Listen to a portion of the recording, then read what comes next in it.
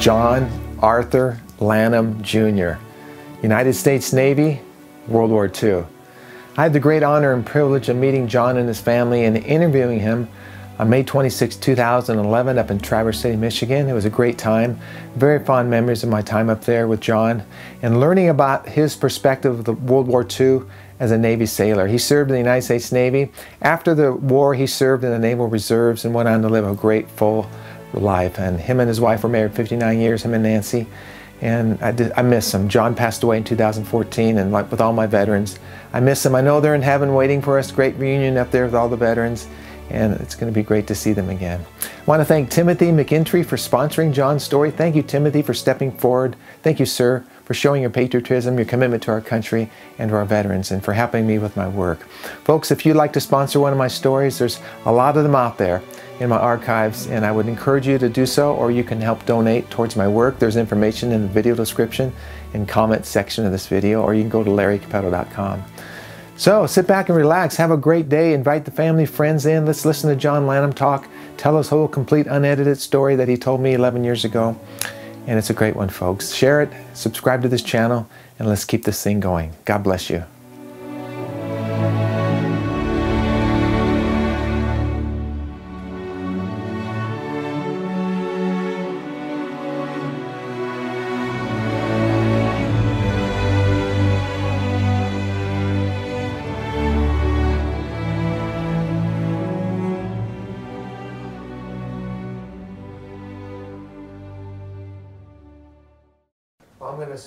Tell me how old you are now, John. 83.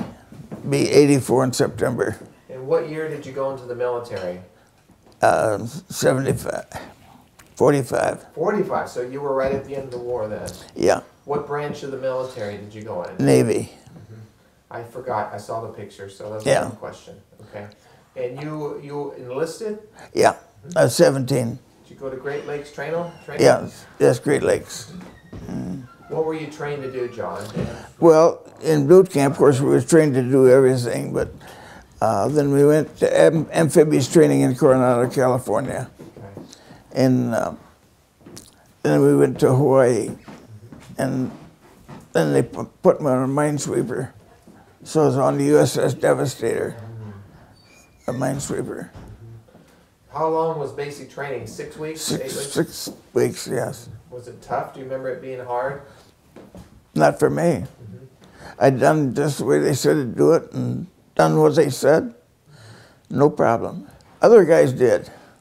Do you remember where you were when Pearl Harbor was attacked? Yeah. Tell me what you remember about Pearl Harbor. Well, I was uh, up at Dodge Spring, and that I had my dog, and we were just going for a walk.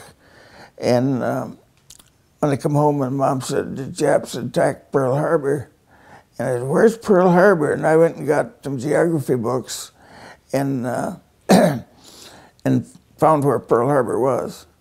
And so I kept up pretty close. They say a young boy at that age, the wars affect them more than most people. So you were probably still you were probably high school at that time, not but not even high school in '41 probably. No, no, I wasn't in high school yet. So a lot of people joined the military after Pearl Harbor was attacked. Yes, yeah. So as you're going through high school, the war's going on. Um, are you anticipating maybe having to go, or what's your thoughts? Oh yeah. School. Uh, we, we figured we would have to go because we knew it was a tough war. Back home, though, were you keeping um, abreast of what was oh, going Oh, yes. on in the Pacific and Yeah. Europe? I had maps of the world and used pins just like they do and and just kept abreast of it pretty pretty pretty, pretty close. So as you get out of high school, were you deciding you're going to go into the, the Navy, or how did that happen? Oh, I was wanted to go in before I did, but my mom wouldn't let me because I was only 17. and um, when I got out of high school, uh, she signed that I could go. I was only 17. So were you ready to go see the world, or how did you feel at that time? Scared. Yeah. No, it was uh, something you had to do. I mean, I didn't look forward to it, but I knew I had to go, or I felt I had to go. What, mo- what month did you join up? In July, Okay. the war was going full blast in Germany or in uh, Japan yet, but uh, they hadn't dropped the bombs yet. So did you, where were you when they dropped the bombs? Do you remember where you were? Uh, yeah, I was still home.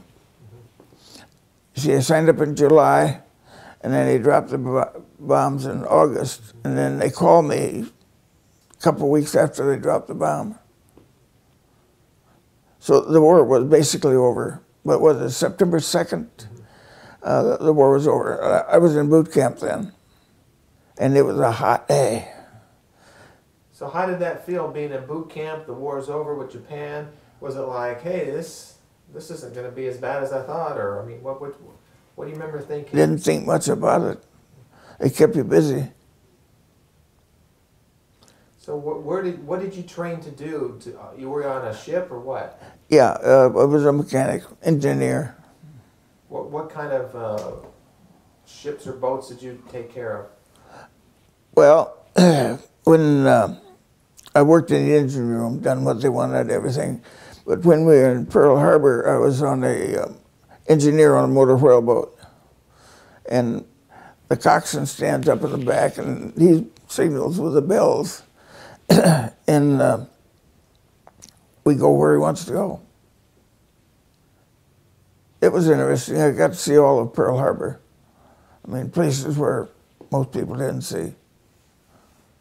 Did you ever work on a landing craft like in this? You said amphibious training, the the, the Higgins boats, this, Yeah, the LCVP. the plywood boats that were used in a lot of the invasions. Yeah, Because they had the coxswain, the ramp goes Yeah. down, and all that. Yeah, they trained us to go in, then we had to take it in. And I made the mistake of going in and coming off just like they wanted. And they said, You're good enough, you don't have to practice. Others got to do it three or four times. But I only got to do it once. So were you stationed in Hawaii then? Is that Yes. where you were Yeah. for your whole career, or your the whole time you're in the military? Or Oh, no, no, I went, got to Hawaii in January of uh, 46. And then we came back, and I was in in the office where, and the rest of my guys went through amphibious training. They went on to Anahuac, which I wanted to do. But uh, I was put in the office there. And then when time come to go back to the States, I was put on a ship. So you were in two years, four years? How long were you? Oh no, I was in about a year. But I was in nine years altogether in the reserves, mm-hmm. the Naval Reserve. I just thought I would get called up, but I didn't. Mm-hmm. I, um, when the Korean War started, I was going to volunteer to go, to go, but I met this girl, hmm. and I married her. Is that how it happened, huh? So where'd you meet her at? Well, I was working with her dad for John Hadlam, and uh, we went up squirrel hunting, wasn't it? Anyway, uh, her brother asked me if I wanted to go to the dances with him, and uh, they had uh, dances in Empire for the Air Force. There's a radio station up above us, and uh, I said, "Yeah." Well, when she walked out of the house, she had a blue taffeta dress on, and I thought, "That's the girl I'm going to marry." How did you know that? I did. I don't know. I just thought, "That's the girl I'm going to marry." And you've been married how many years? Almost 57. Mm-hmm. So how do you stay married 57 years? Is that hard to do? Not really. What's the secret of a long? Well, it's just like you uh, say, yes, dear. you can't use that. Give me another one.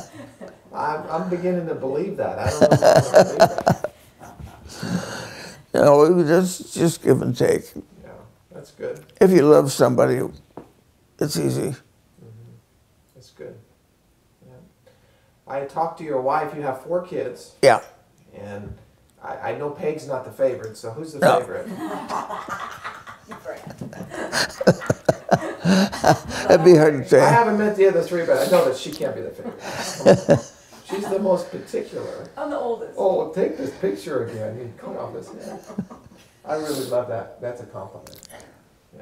Yeah, Um, it's interesting talking to you because you know the war's over. yeah. You joined the military. It's kind of like did we just come home, or was there still a lot of military presence in the Pacific? And Oh yeah, there was still military in the Pacific. But we had a, we won the war, but there was still a lot to do in the peace, in peacetime. did you leave Hawaii? Did you go farther overseas, or did you? No, I went back to uh, Long Beach, and from Long Beach up to Sa- up to San Francisco, and um, we tied up under Pier 20. And then one day the captain came to me and told me to, I was ordered to go to um, Long Beach and help bring a YMS up. Well, the way the bureaucracy works, I went to and reported to this uh, station, and he said, gave me 48 hours leave, or 28 hours, excuse me, 24 hours leave to report back. So I went back to ship and got mail, and captain seen me. He says, "What on earth are you doing back here? You're supposed to be on a plane going down to Long Beach." And I said, "Well, they just give me 24-hour liberty." And "Oh, gal." So the next day, I got there, and then they put me on a troop train going to Long Beach. I got to Long Beach. The ship had already sailed, so I went back to Long to uh, San Francisco to Treasure Island, reported on board the ship, and it was a YMS, a wood, wooden boat, and uh, I asked the uh, exec, I said, could I just go back to the uh, my ship because I didn't see any point in all that bureaucracy going paperwork. So he said, yeah, I just go back to your ship. What, and again, what kind of ships were you around? What, there wasn't Well- just the, the assault landing crafts, were they? There were other ones you were working on. Yeah, we were uh, basically trained to uh, repair, operate the uh, Gray Marine diesel. Well, that was on the LCB. Yeah. Yeah. So you, when I was talking last night about the Higgins boat, you know what I was talking Yeah. about. Mm-hmm. Yeah. And they would they, they fit what about thirty troops, About approximately thirty people. 20, 30. I don't know, I never had a full one. Wasn't that a plywood? Yeah, boat? it's plywood, yeah. I imagine the bow up above in the front was uh, steel. The otherwise, uh, when it, they shot at it, it, bullets would right, go right through. Have you ever? Do you have a favorite war movie that you've watched, or do you watch war movies? A few. Uh, Got a collection that. What's your favorite war movie? Band of Brothers, probably. Oh, that's good. The others are more, more, more make believe war. Mm-hmm, mm-hmm. Did you see the Pacific? The miniseries, The Yeah, Pacific? yeah, Did you mm-hmm. like that? yeah. It was pretty good. Did you did you have friends in school that went into the war that maybe didn't come back? No, everybody came back that I knew.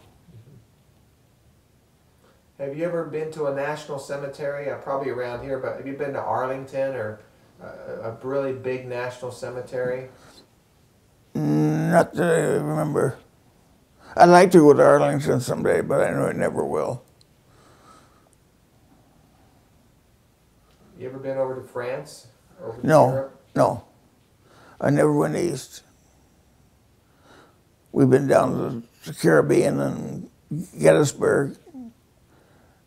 But uh, So why why did you join the Navy? Um, that particular branch of the military. well, I wouldn't have to crawl through mud. You like the water. yeah. Do you have a boat? Uh, yes, I got a boat, but An LCVP? I wish I had one. I want to take a ride on it if you have one. Yeah. Imagine those were kind of expensive to run. I don't know if you could find one anymore, can you? Oh yeah, yeah. In fact, a guy in Beulah, er, yeah, Beulah, had a duck. That's an amphibious amphibious truck.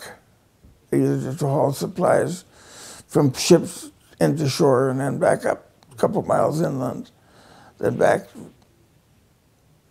How much training did you have on the, the Higgins boat? Did you understand why they used them or the importance of that in, a, in an amphibious landing?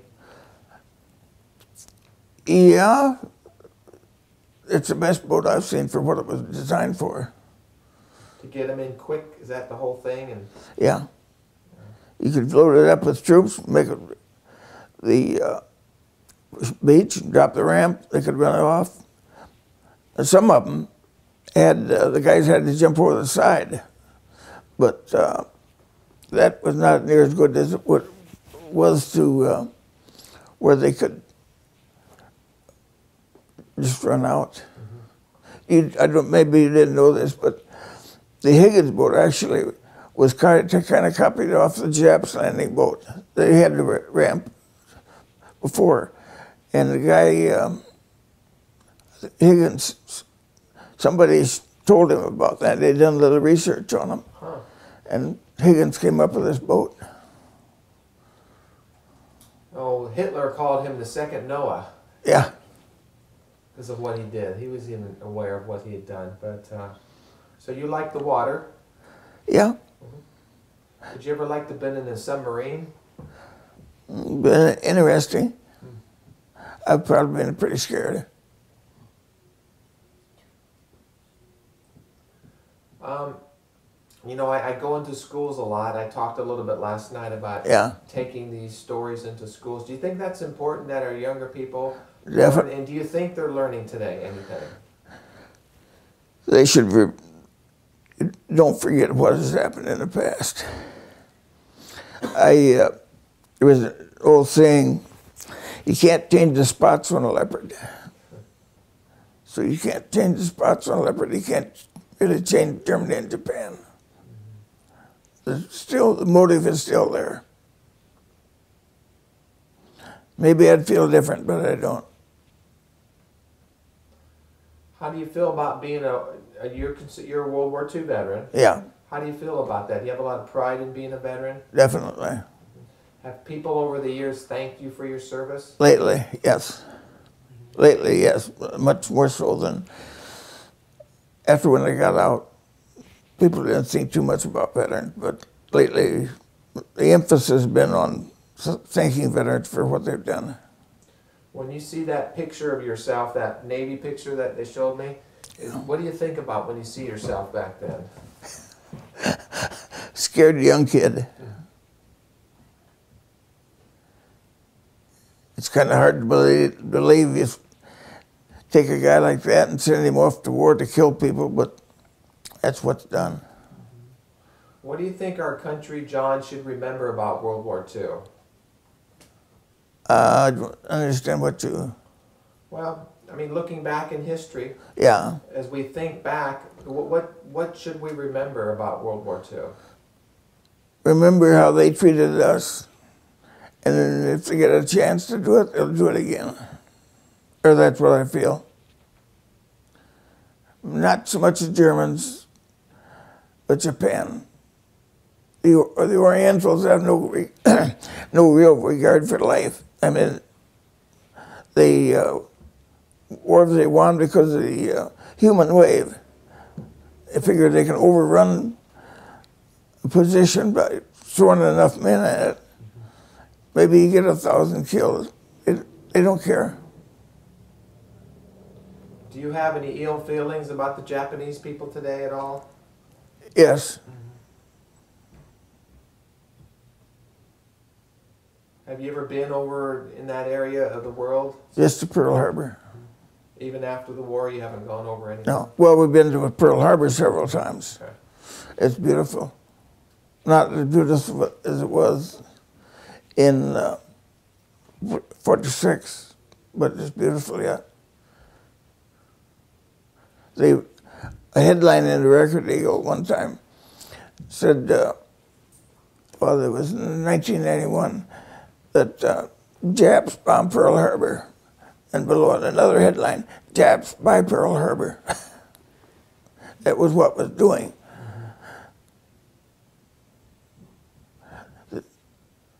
Does Memorial Day mean a lot to you? Like Monday, we observe Memorial Day. What does that day mean to you? Well, I know we should remember, remember more. Remember the past. Remember the guys who got killed.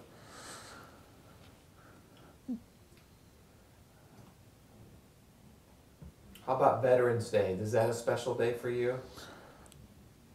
Yeah, you get a free free dinner over at Rico's.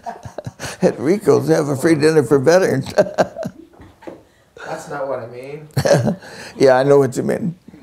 Uh, eh, yeah, it does. It it does me. Like June sixth, I always remember it. Other people don't even think about it. I think about it, boy. Yeah, most people don't. I think in time we're you're hearing less and less and less about it. You know. Yeah, yeah. news and, That's right. and things, but it was a tremendous day in our history. Yeah, it should be. You know, I heard on the radio one day, I find it hard to believe, but it's just, they asked high school kids, what caused World War II? They said, because America bomb, uh, dropped the atom bomb on Tokyo and they came back and bombed Pearl Harbor. I find that hard to believe that people could be that dumb. Well, unless they're being taught, they're not going to learn. I mean, you know. Um, Mm-hmm. Have you ever been to Washington D.C. and seen the World War II memorial? No, I haven't. I've been closest to, I've been with the Gettysburg. You guys have the World War II honor flight out of here that takes veterans back to D.C. It's a Mhm. free- Do you have that in the center? Buses, yeah. Buses. Ted Shaw with Brown Lumber. Cool. He's done it a couple times. Yeah. Yeah. So your your your experience now you were said you were just in a year, right? Yeah. Now how come just a year? Well, I was I signed up for the duration plus six. In other words, after those six months after September 2nd when the war was over. And so from six months that day, I was supposed to come home. Um, I would have stayed in if they hadn't deal with me, but the emphasis was everybody goes home. You thought about the Air Force too, right, Dad? But there was a reason you couldn't get in the Air Force? The what? The Air Force, you had talked about that too at one point in time, but they didn't have training going on or something, you said? You, wanted to go in the Air Force, Yeah, couldn't? in 1944, uh, I was 17 on September 13th, 1944, and I had to graduate from high school, and so I had enough credits by January, and then I uh,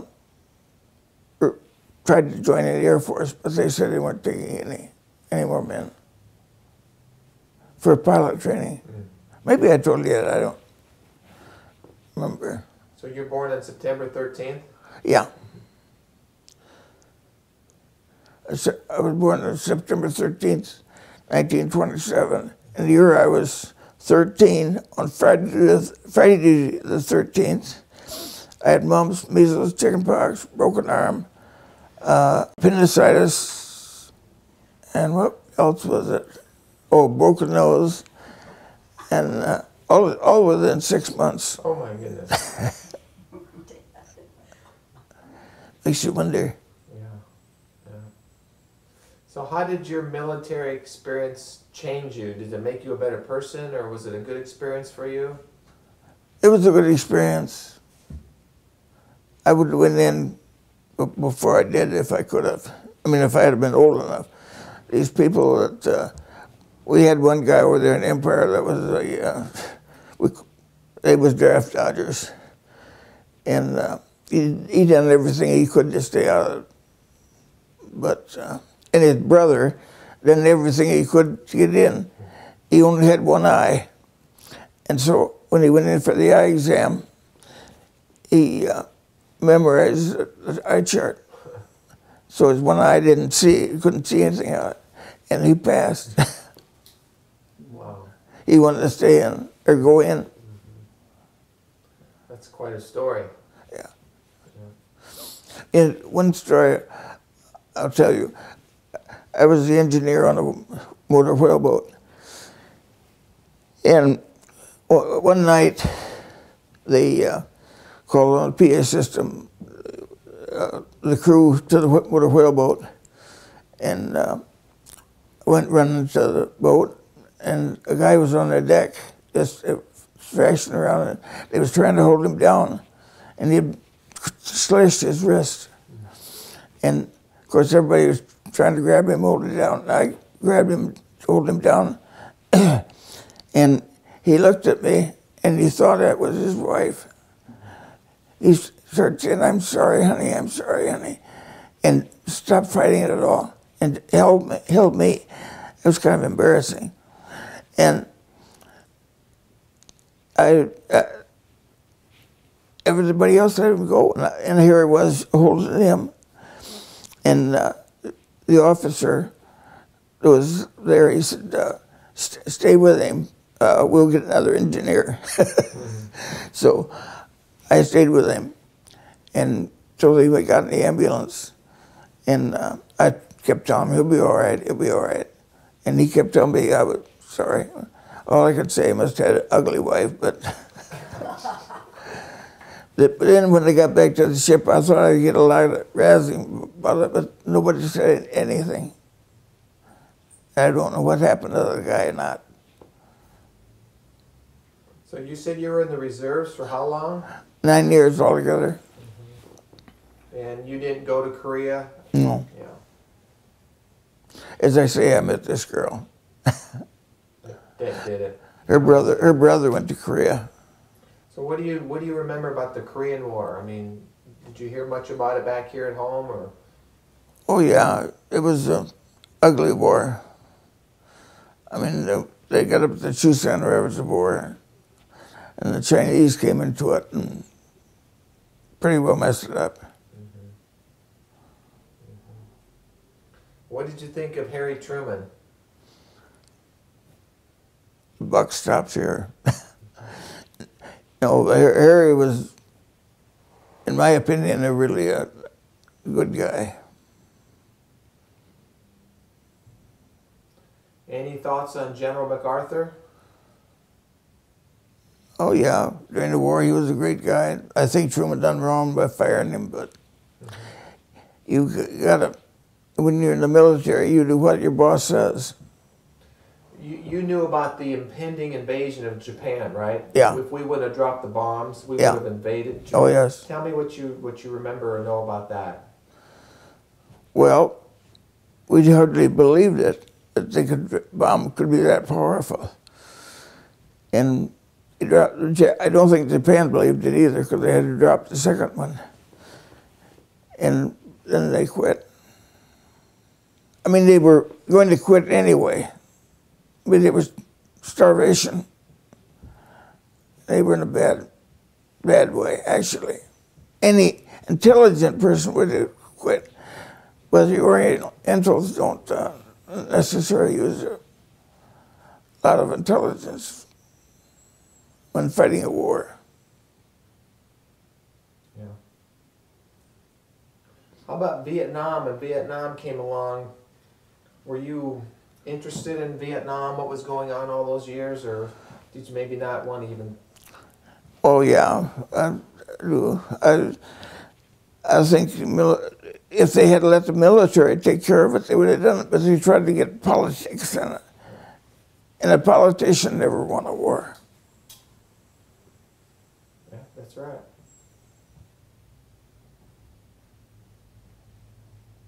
How about what's happening today in the world? What are your thoughts on Iraq, Afghanistan? Well, you've got to stop it somewhere. I mean, this, this terrorist going in and flying planes into two buildings, what sort of they would Allah, oh, all for Allah. That guy, um, guy in, in the plane that was flying that plane, he was probably screaming Allah be praised or something like that just before he hit. And uh, I don't think Allah would approve of it, but Is that their God? yes, their God is Allah. Allah is God. Allah is the same as God. There's only one God. That's right. Let me ask you about freedom, John. You hear me talk about freedom, and they say freedom's not free. You hear That's that? right. So tell me what your what what do- what does freedom mean to you? It can do pretty well what you want to do without government interfering. And you don't have to worry about the police knocking on the door at night and dragging you out of bed. And basically, you can do what you want to do within reasons, as long as you're not affecting the health and welfare of somebody else. How about the American flag? What does that mean and represent to you? Beautiful flag. We fly it pretty well every day. The other other day the the rope broke and it come come down, so we had to get a new rope and put that up and fly it. But my wife puts it, usually puts it up every morning. Means a lot, huh? Yeah, it's beautiful. And I think up on um, the cemetery up here, the VFW puts up, uh, how many flags is it? A lot of flags every day on Memorial Day. I wish I could help them, but I can't. Twelve hundred, I think. So what kind of work did you do after the war? Carpentry. A builder. Well, I worked for a carpenter for, for a few years. And then my brother and I worked together, started building houses. And then my brother said he didn't have to work like that. And so he quit. And I kept building houses and maintaining cottages and farming. You have a farm? yeah. Mm-hmm. Where? Here? Yeah, in Leelanau County near Maple City. How large is your farm? Well, we got a 80 acres that we live on that we farm. Then we got 40 acres of woods and hills, and a beautiful pl- place to go. But we can't use it for anything other than the trees that are on it: So what do you grow? corn, hay, oats, stuff like that. Great. And we also have an orchard, about four acres. Peach orchard? We have a few peaches, but Yeah. the market dropped out of peaches. Uh, we used to sell, well, one year we sold 12 bushels to one woman, and when we quit raising them, heck, we couldn't sell to a bushel the whole season. They want them by the pound. So someday when you're gone, hopefully it's a long time, but what do you want what do you want your family to remember about you? Sounds corny, but I was that I was a patriot.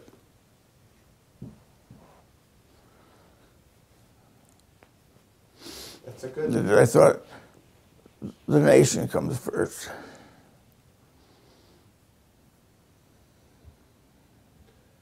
Do you talk much about your war experiences or is it just something every once in a while? Do you ever think about it? I think about it a lot, but I don't talk about it too much. I have a lot of war, war movies. And in fact, I have a couple of yours. Do you? Uh. Yeah, if you bring them in, you know, she would like you to autograph Yeah, them. great. Did you ever see Saving Private Ryan? Do you remember that movie? Yeah, That's pretty pretty good movie. yeah. It's probably more truth to it than a lot of the other movies. I agree. Yeah. Did a good job. Yeah. We had a, a friend that was on Guadalcanal, and uh, he said it was pretty pretty terrible because they didn't know whether they were going to come down at night and invade him, try to drive him off or what. So Well, that was at the beginning of the war, Guadalcanal. yeah, Did you know anything about Iwo Jima? I mean, yeah. My brother my brother-in-law was on Iwo Jima. Your brother-in-law was? Yeah, Wow. Did, third wave. did he make it off? Yeah, Is he still alive? yeah. he's over here in Gun Eagle. So what did he ever tell you about Iwo Jima? Did he talk Not about much. He was a Marine? Yeah, he was in the Marines. Yeah. Yeah, he was. He was in the air, on the air arm, the, the air, or not the Air Force, but the Marines uh, arm of planes. So there, at one time when the Japs they made that Banzai charge on the Marines, I, I don't know if he was there or not, but he's never never said. I did a couple of documentaries on Iwo Jima. I don't know which ones you guys have, but uh, Oh, I got Omaha Beach. that's good. Yeah. Tell me about Carl and Fred, and they were instrumental of you going into the military. Was that it? Or? Yeah.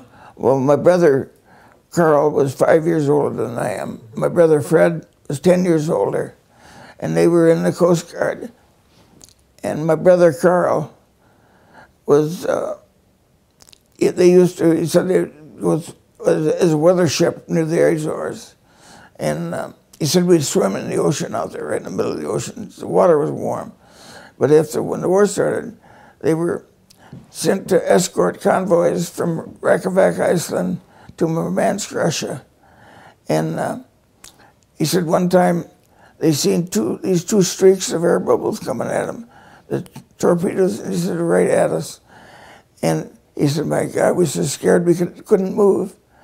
And he, but he said the guy must have set the torpedoes to go too deep because they went right under the ship. And he said we would have been blown to pieces. And uh, then he came home and got married and went back and was sent to the Pacific to uh, put on an oil tanker, a smaller oil tanker, an a, a, I think it was an AO. And uh, he um, said that one day the uh, seven kamikazes were coming right at him. And he said their destroyer escort got the range and shot all seven of them down, one right after the other. He said we were screaming bloody, bloody murder.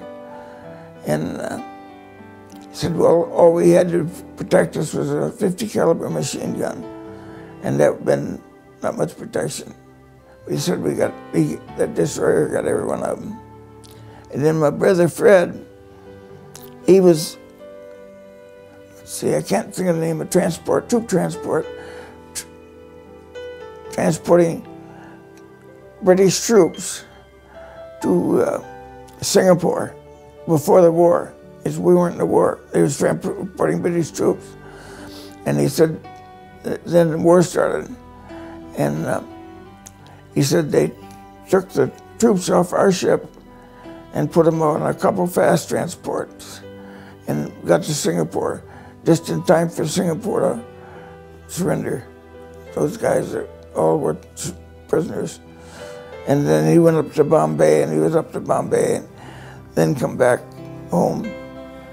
And uh, then he got married, and he spent most of the war on the Great Lakes uh, at the, the stations.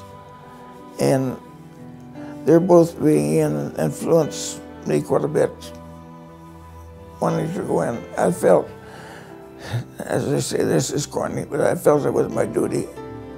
And during wartime, I feel it's everybody's duty to help when I, whether, whether it's a just war or not. It's still our country. That's good. Thank you. You're welcome. Well, at the end of my films, I always have a, the veterans salute into the camera. John, can you do that for me when I ask you to? Return the camera back. okay, look, look right in here. Go ahead, right in here. Yeah. Go ahead. Give me a salute into the camera. Okay, perfect. Thank you. We're going to take some pictures of you, so